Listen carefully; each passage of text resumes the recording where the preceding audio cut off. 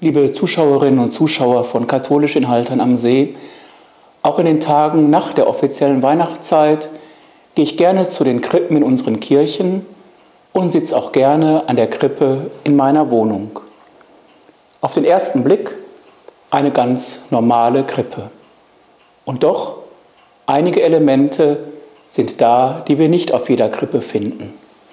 Ein stilisierter Baumstamm mit einem Apfel davor, eine Arche und die Krippe des Jesuskindes steht auf einem Kreuz.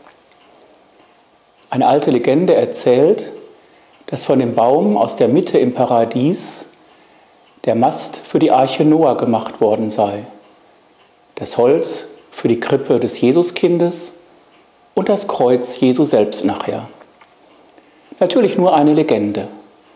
Eine Legende, die aber deutlich macht, dass Gott um sein Heil zu wirken, seine Schöpfung und seine Geschöpfe gebraucht.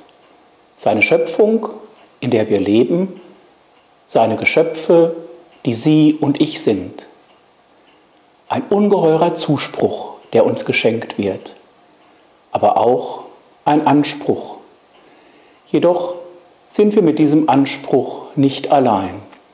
Der, der für uns Mensch geworden ist, ist in unsere Menschlichkeit hineingegangen und geht mit uns. Vielleicht entdecken Sie das auch jetzt noch beim Besuch an den Krippen. Ich wünsche es Ihnen und eine gute Woche.